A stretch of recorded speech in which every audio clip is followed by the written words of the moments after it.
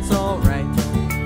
I'm allowed to think about nipples every night, but not in a perverted way, just in an observant way. I am a PhD and I just tell it how I see it, and I do not get aroused at all. I keep it all professional, but I see things when I go out that make me wanna stand and shout, Hey, nipple, nipple, nipple, nipple, nipple, nipple, nipple, nipple, nipple, nipple, nipple, yeah.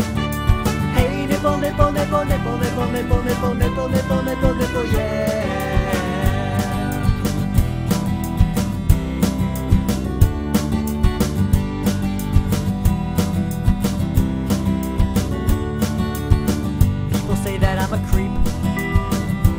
Just not true. I talk about nipples all the time cause I take pride in what I do. So if I wanna see your nipples, don't scream or call the police.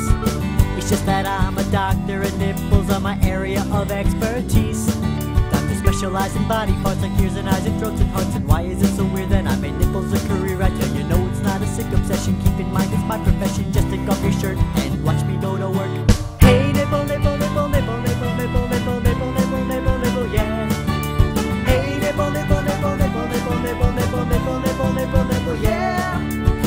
Marcell, pay attention, my boy. Just because I am a doctor doesn't mean I can't enjoy going out with the boys, have a beer, tell some jokes, and stare at some nipples and take some notes. Whoa,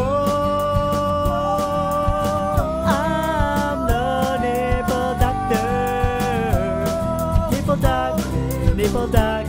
A nipple doctor, doctor, doctor, doctor, doctor, doctor, doctor, nip doctor, doctor. I'm